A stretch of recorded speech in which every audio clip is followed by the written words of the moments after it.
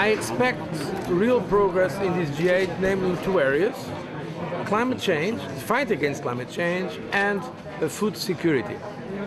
In climate change, uh, I hope that uh, our main partners will come closer to the European position, accepting the 2 degrees Celsius as the basic reference given by science, accepting also uh, that we should have at least 80% reductions by 2050 for developed countries.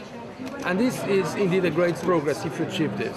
It's not yet where we are because probably there will not be an agreement on a mid-term target, but I think this could be achieved, achieved during this meeting.